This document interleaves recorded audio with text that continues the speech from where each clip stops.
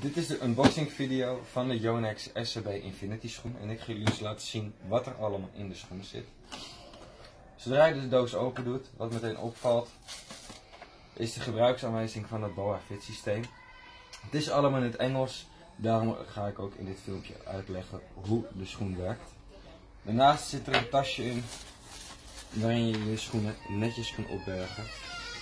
Maar waar het natuurlijk om gaat, zijn de schoenen zelf. Dit is hem dan, de SRW Infinity. En wat meteen opvalt zijn de twee boa knoppen die de schoen maken die die is. Hoe trek je de schoen aan en hoe uh, maak je de schoen dus los?